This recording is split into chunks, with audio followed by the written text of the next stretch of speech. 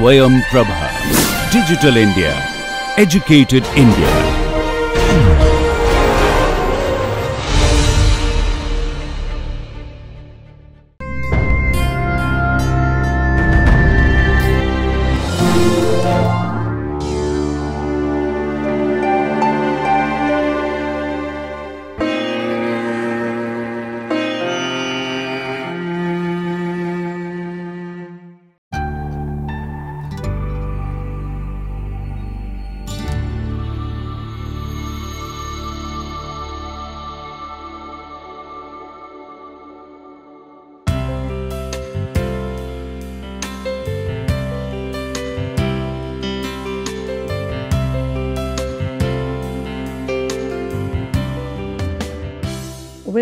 Participants to today's module. In the previous modules, we had looked at the foundational development of the concept of gender and how the early feminist movement intersects with gender theory. In today's module, we will introduce the philosophy of Simone de Beauvoir and her understanding of gender, even though she herself has not used the word gender per se. Yet no discussion of gender theories can ever be complete without incorporating her ideas.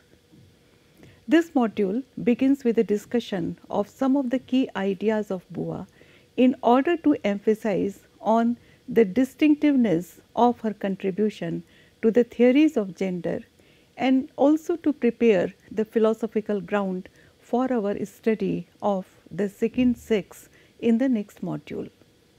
De Berghofen has commented that she is a belatedly acknowledged philosopher and there are several reasons for it. She had identified herself as an author rather than as a philosopher and jokingly called herself the midwife of Sartre's existential ethics rather than a thinker in her own right.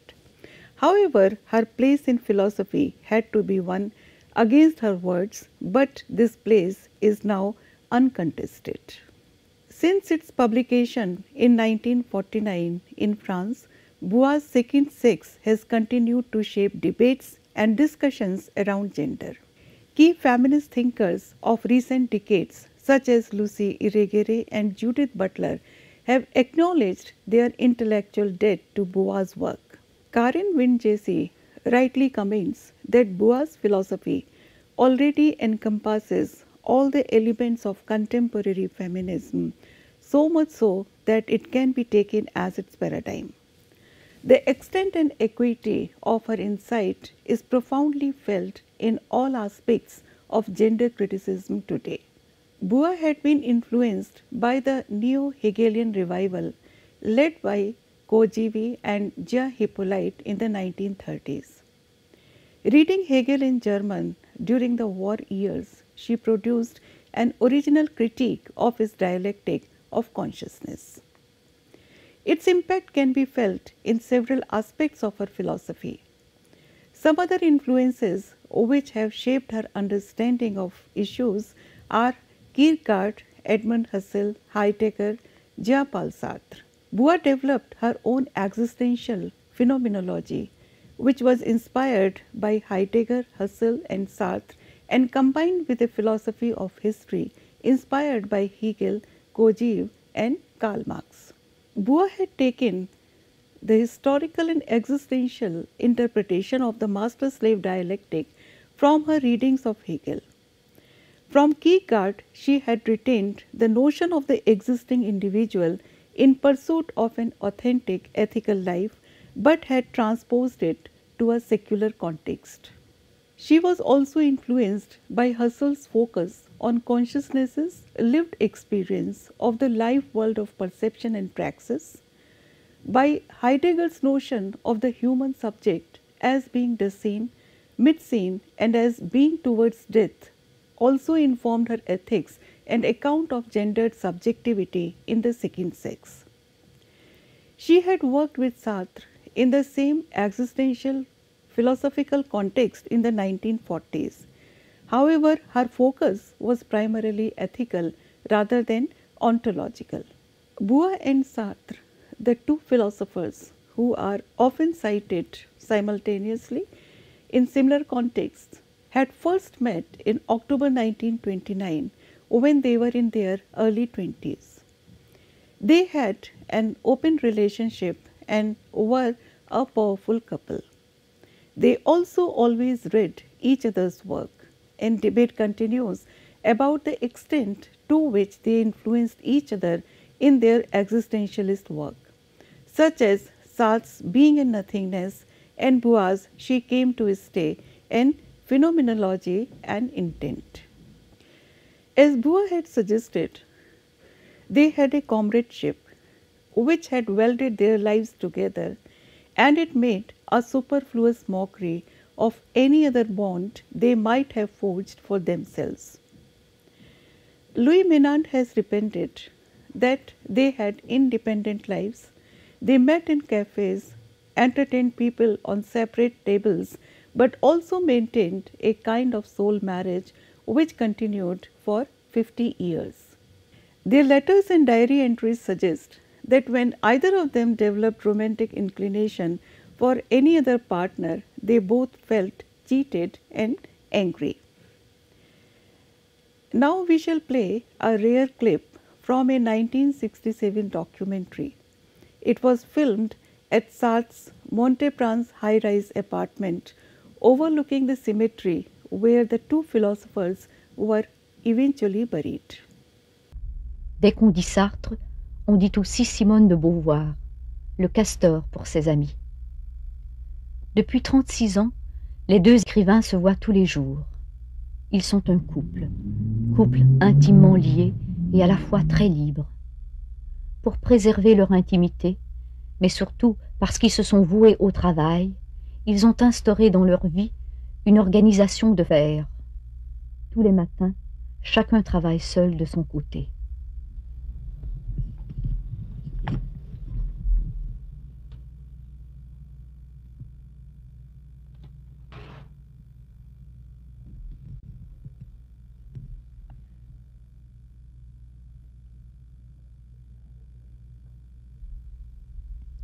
Let us discuss some of the key terms that Beauvoir has used throughout her literary works.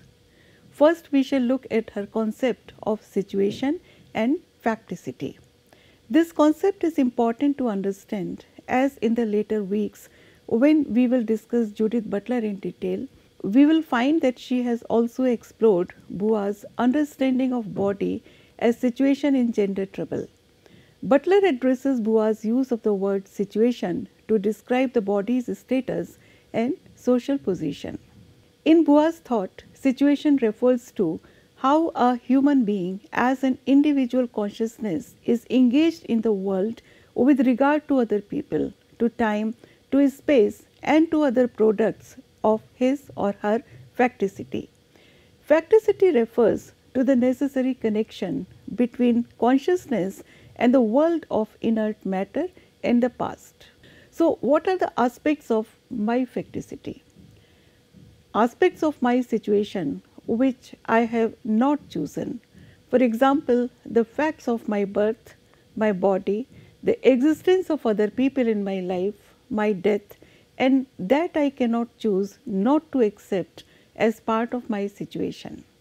Toril Moi, the feminist theorist, has explained that the concept of situation has enabled Beauvoir to avoid having to divide lived experience up into the traditional subject object binary. Precisely because the other, for instance, is an example of my facticity, is always already part of that situation. Beauvoir's notion of the body as a situation is, as Toril Moi has commented, a crucially original and often overlooked contribution to feminist theory. Unlike Sartre, her focus is predominantly ethical rather than ontological as she sets out to examine the importance of situation. Along with her concept of situation and facticity, Beauvoir's work explores the concept of reciprocity. As existing alone is impossible and also undesirable as far as pursuing our projects are concerned, Beauvoir asks what we can expect from other people who are indisputably in the world with us. She explores various modes of relating to other people, such as self sacrifice and ways in which individuals act for each other. She cites the example of the slave who obeys the master and the woman who sacrifices her life to her husband. In Hegelian terms, it is the end to the antithesis of subject and object. An important feature of self other relations. Reciprocity is a relationship of mutual equality, one that allows for true reciprocity and mutual subjectivity. The importance that Beauvoir has attributed to this moment of Hegelian recognition in the master slave dialectic suggests that she emphasizes the potential for reciprocity in the relation to the other. However, it is crucial to note here that she does not adopt the voluntaristic notion of freedom of Sartre's being and nothingness which he had published in 1943 and which depends on a will to be free effectively arguing that our actions are the products of free choices. In a state, Beauvoir distinguishes between one's freedom and one's relative capacity to act in a given context. Beauvoir's existential beliefs are key to understand her philosophical approach, a particular concept which is essential to decode her philosophy of woman is her notion of ambiguity. In the Ethics of Ambiguity, which was published in 1947, Beauvoir begins her discussion by arguing that the human condition is ambiguous, by which she means that the meaning of human existence is not fixed, but must be constantly created within the parameters of seemingly opposed conditions of existence. Human existence is ambiguous because Human beings are both free and unfree, separate and connected to each other, a subject for ourselves and an object for others. Consciousness and body, alive yet born to die. The ethics of ambiguity reconsiders the idea of invulnerable freedom, which had been initially presented by Beauvoir in her first philosophical essay with the title of Pyrrhus and Cineas. Beauvoir drops a distinction between the inner and outer domains of freedom and deploys a unique understanding of consciousness as an intentional activity. It is also relational. The concept of ambiguity, which has originated in Beauvoir's moral philosophy, is later on connected to the female body and feminine desire along with its ethical connotations in the second sex. A fundamental aspect of ambiguity of human condition is the fact that human beings are simultaneously separate and interdependent. Each one depends upon others and this is referred to as human interdependence. For Beauvoir, the other is not a hindrance to my freedom, so to say, but a condition for my freedom to be realized. To her, the me others relationship is as binding as the subject object relationship. The concept of ambiguity is applied not only to the female body but also to the feminine desire in her seminal work, The Second Sex. Beauvoir does not view the body as something dominated by and subordinate to consciousness. She maintains that the body is a situation and the human being a historical idea. Thus, that the biological nature of humans is never experienced apart from a second social nature. So, body as well as body consciousness is always historically mediated. Differences between the sexes are also dependent on historical situations. However, a woman has a special relationship to her body.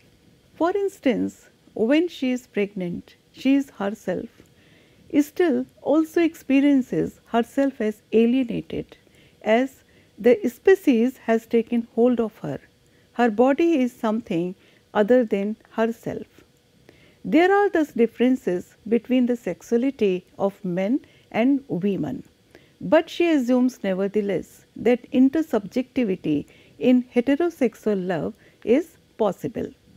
In Beauvoir's opinion, a woman embodies the ambiguity of the human condition more explicitly than the man. Being separate as well as interdependent, body as well as consciousness, and it also applies to the notion of feminine desire. Beauvoir has rejected Sartre's view, which was presented in Being and Nothingness, of human beings as autonomous, separate subjects with instrumental and conflictual relationship to each other. Rather, she does not repeat Sartre's dualistic image of the consciousness body relationship, but replaces it with a notion of a fundamental ambiguity that is, of human beings as at once separate and interdependent. I would refer to Eva Gothlin here, who in her essay also finds certain commonalities between Beauvoir's concept of ambiguity and Irigaray's analysis of differences between the sexes in relation to the body and sexuality. Irigaray has illustrated these ideas in her work This Sex Which Is Not One and An Ethics of Sexual Difference. Combining the notions of ambiguity with femininity, Beauvoir takes up a position which opposes essentialism. Ambiguity connected to women is positive for Beauvoir. As woman is more complicated and ambiguous than man, she is closer to Beauvoir's conception of human nature. Carrying forward her idea of the ambiguity of human existence, Beauvoir also suggests that intersubjective experiences depend on the collective meaning created with others. Unlike Sartre's conception of freedom, Beauvoir recognized that each individual is in a unique situation which limits and also defines possibilities of resisting oppression. Beauvoir points out that Sartre's understanding of bad faith is in fact biased. She notices that the subject that Sartre is mentioning is not genderless but is an erotic subject. As a result, the situated and cultured perceptions of the subjects are diverse due to different social conditioning. Beauvoir's arguments at this point are closer to those of Michel Foucault and Judith Butler. We can refer to Butler's argument that all desire is culturally constructed. Philosophical understandings of Beauvoir are reflected in her critical as well as creative writings. I would refer to her short essay, Brigitte Bardot and the Lolita Syndrome, and later on to a novel, She Came to Stay to elucidate it further. The essay was published in 1959, 10 years after the second sex, and is taken as a continuation of her arguments. It deals with the concept of the eternal feminine as a socio-cultural embodiment of gender inequality in the form of sexually ideologized and ideologizing discourse about women and sexual difference. A component of gender essentialism Drawing on her work on myth from the second sex, Beauvoir argues that the famous French actress Brigitte Bardot constitutes literally a new embodiment of the old myth of the eternal feminine. Beauvoir's essay consists of 37 pages and 70 photographs and centers on the French actress Brigitte Bardot and the creation of her persona by her husband and film director Roger Vadim, whom she had married when she was 18 years old. Vadim had directed the famous film And God Created Woman in 1954, in which Bardot represented the modern version of the traditional myth of all that is and will always be feminine. and Envisaged as a continuation of the study of myths in the second sex, Beauvoir considers in this essay that Bardot replaces the model of the femme fatale by that of the child woman. The eternal feminine is foremost that body of myth which speaks of woman as other. It represents a collective imaginary relation to women and common heritage. Its images and discourse call up heavily coded and generally agreed upon sets of presuppositions concerning women and male female relationships. In this essay, Beauvoir poses the question of representation, of the meaning of the resurgence of the child woman who is triumphing not only in the movies but in the theatre and especially notoriously so in fictional works like Nabokov's Lolita. Traces of the second sex are conspicuous in the essay. Commenting that the director of the film had launched a new type of eroticism by projecting the sexual carefree image on the silver screen, Beauvoir explores the disruptive erotic power of Bardot as a combination of femme fatale and the nymphette. In the article titled Beauvoir on Bardot, the ambiguity syndrome, Dennis Warren has suggested that for Beauvoir, the eternal feminine is a discursive structure which refers to and encompasses the culture's collective and particular myths about women. Beauvoir views it as an anaphorization, a rhetorical figure of speech which alludes to a known, implied, and legitimized totalization which is not specifically articulated and need not be. So, what are the examples of anaphors? You know how women are. Oh, that's just like a woman. And these are the examples. Everyone understands the implications of these statements in the contexts in which they have been uttered. The anaphor creates a common space and a complicity in an agreed upon knowledge in which everyone participates, even though many of them may not know much about it. It is with a sense of irony that Beauvoir looks at the revival of the child woman as a remedy to a flagging male eroticism in response to increased gender equality. She comments in the essay that an adult woman inhabits the same world as the man. She takes up all the responsibilities which a man of her age group shoulders. For example, she can drive, she can go to the office, she can earn money, she can trade in shares. But the child woman moved in a universe which the adult man could not enter. The age difference re-establishes between them the distance that seems necessary to desire. Although Bardot's possibilities of genuine sexual autonomy in post-war French cinema are contested by more recent feminist film critics, Beauvoir was correct to identify her subversive erotic power, even if it is a power contained and manipulated by the patriarchal gaze both on and off screen. The eternal feminine is at the heart of woman's ontological dilemma. All aspects of the myth of femme fatale, whether positive or negative, exclude her from the society of man and define her as outsider to the masculine norm. To refuse its terms is to go against the collective sexual imperative. Similarly, to choose relegates woman to otherness. In both Ethics of Ambiguity and her essay on Bardot, Beauvoir introduces and reinforces her key concepts such as the other, ambiguity, situation and myth. These concepts were developed within the context of gender relations in the second sex. Let us now briefly look at Beauvoir's first novel. She had close relationship with Sartre. Traditionally, Sartre scholars have tended to treat Simone de Beauvoir only as an eyewitness to the life of her man. But Beauvoir wrote most of all of her first novel, She Came to his Stay, before Sartre had even begun to write Being and Nothingness, and many of the philosophical ideas credited as originating with Being and Nothingness did not appear in Sartre's journals and other writings until after he had read the second draft of She Came to Stay.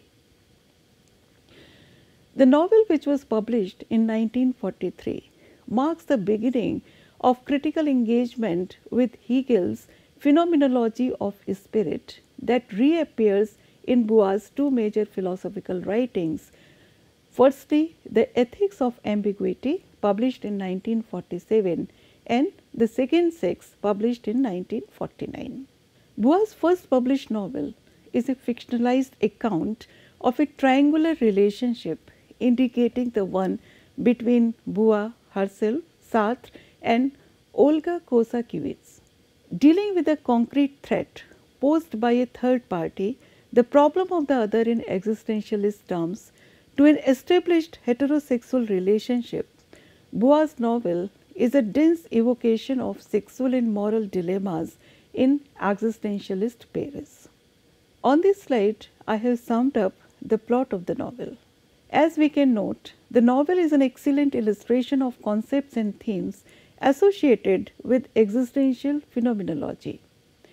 Merleau-Ponty has termed it as a philosophical novel. He says that the task of literature and philosophy can no longer be separated and asserts that Beauvoir's She Came to Stay signifies the development of a metaphysical literature and the end of a moral literature. Iris Murdoch, the famous British philosopher and writer, has interpreted Merleau-Ponty's assertion as a recognition that in an existentialist novel, the interest is focused upon the ambiguity of the character's situation and upon how the characters choose to resolve this. This novel is a mediation on the Hegelian problem of the existence of the other and plays out the psychological effects of jealousy and questions the extent to which coexistence is possible. Critics like Hazel Barnes and Escher have noted that close ties between Beauvoir's first novel and Sartre's Being and Nothingness, published in the same year, are significant. Both texts deal with the central existentialist theme of letting others absorb one's freedom. Beauvoir cites the epigraph from Hegel's Phenomenology of Spirit here. Each consciousness pursues the death of the other. Beauvoir has identified three fundamental procedures or attitudes that one may take up regarding the subjectivity or consciousness of the other. Persons may seek to experience themselves as the other's object. They may seek to guard their subjectivity by making the other their object and they may seek a reciprocity with the other whereby each treats the other as both subject and object, as equal freedoms and sources of value. Most scholars identify the dialectic of Lord and Bondsman and Alexander Kojève's interpretation of this dialectic as a formative for Beauvoir, that is, as the basis for the model of intersubjective reciprocity that informs both her ethical and feminist writings. For Beauvoir, the struggle between master and slave, man and woman, is crucially a historical one and hence subject to change. In this way, her notion of quote unquote becoming woman draws on the Hegelian notion of subjectivity as dialectical, a subject in process. She emphasizes, like Kojève, the possibility of reciprocal recognition between master and slave, man and woman, as a solution to the struggle for recognition which is fundamental to and recurrent in history. For Beauvoir, as for Hegel, Self consciousness is a result of the self other relation. In other words, we need other people to become ourselves. Beauvoir's novels are grounded in a training as a philosopher and also in her sociological and feminist concerns. Novels like She Came to Stay, The Blood of Others, All Men Are Mortal, and The Mandarins revolve around the questions of freedom and responsibility and try to define the proper relationship between the individual and society. Her characters search for authenticity as they attempt to shape the world around them. Without any doubt, she is a feminist thinker for the 21st century. Her concept of the self is relevant and influential in the light of the postmodern critique of the essential unitary self and also of the multiculturalist critique of the autonomous self. I will now briefly refer to some aspects of Beauvoir's thinking which in my opinion are relevant in the context of many current philosophical debates. And outline our interpretation of Beauvoir in relation to contemporary feminism, especially in relation to its logic of equality and difference and to its themes of identity and diversity. We will conclude with how Beauvoir's thinking gives us important clues as to how to solve some of the apparent dilemmas of contemporary feminism and how to conceive of a feminism or a gender conceptualization for the 21st century. Beauvoir's perspective about the situation of women provoked much dispute and discussion when the second wave of feminism started in the late 60s and early 70s.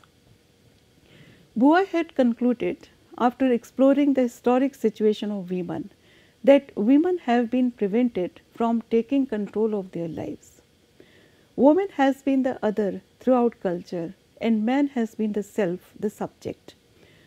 Woman has been subjected to man who partly with woman's consent has made her into the negative of himself. Passivity confronting activity, diversity that destroys unity, matter as opposed to form, disorder against order. Beauvoir had written in 1949 that for the first time in history, through the availability of contraceptives and access to paid work, women have started to have a chance to develop into a self as well. The second sex can also be read as a passionate appeal to women to take this chance. 20 years after the appearance of this book, it was discovered by the new feminist movement.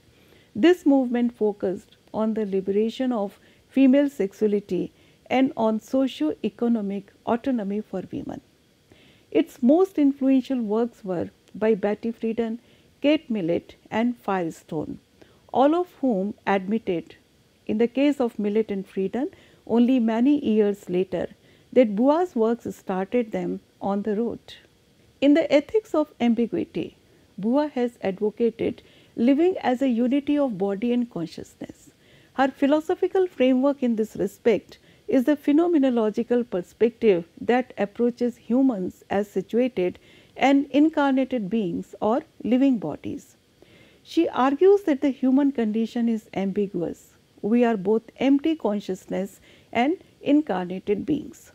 The ambiguous elements of our human condition are not merely set along, alongside each other, but are placed in a specific hierarchical order. She wanted women to become selves, but in contrast to Sartre, it is the situated sensitive self she has pursued for women and also for men. Identity is much criticized in postmodern feminist thinking.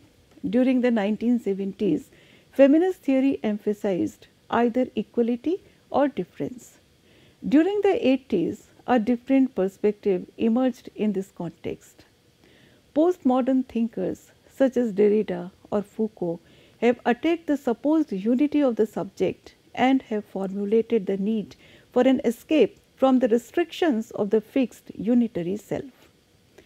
Other forms of subjectivity have to be developed that no longer imprison us in a restrictive identity. Feminist theoreticians such as Judith Butler and Rosi Braidotti, two philosophers whom we shall discuss in complete detail, elaborate on this view with respect to the feminine subject. There is a need to unravel and deconstruct fixed meanings of womanhood so that an open space is created to permit the shaping of new ways of thinking and living. Postmodern feminism, with its suspicion of an essential subject woman, expresses the political mood of the feminist movement today and has also influenced our understanding of the term gender in today's concept. In today's context, Beauvoir's concept of the self prefigures and anticipates the postmodern and multiculturalist critique on the essential autonomous self. For this, we will again turn to her thinking on ethics. Seeing our human condition as ambiguous, Beauvoir, in opposition to abstract moral theory, has introduced ethics of ambiguity. Our ambiguous condition, especially our element of separatedness, is the reason why universal positive moral laws cannot exist, for in the end we can never speak for another person. However, the concrete existence of the situated human being can certainly be the locus of an ethical dimension. In the ethics of ambiguity, ethics comes forward as an attitude of willing oneself free, which comes down to constantly freely shaping oneself into a specific subject in the world by taking responsibility for individual specific values. She also says that by willing ourselves free, we commit ourselves to freedom as such and therefore to the freedom of everyone. People can lack every chance to shape themselves as ethical subjects, and we have to intervene into power relations that impede them to do so, and thus politics immediately comes into the picture. Her emphasis on ethics as an art of living or as a whole way of life once more underlines that her concept of the self is not the Western Cartesian pre-given self that is externally related to its body and to the world, but a sensitive self embedded in context, a unity of head, heart and soul. In conclusion, Beauvoir's thinking already contains some crucial elements for such a global feminism. She also combined theory with activism. She was one of the first French intellectuals who opposed the French wars in Vietnam and Algeria. Her discussions started the conversation on the difference between sex and gender. The early works we discussed in this module provide the psychological corollaries to the philosophical discussions which are presented in the second sex, Beauvoir's magnum opus, which we shall discuss in the next module. Thank you.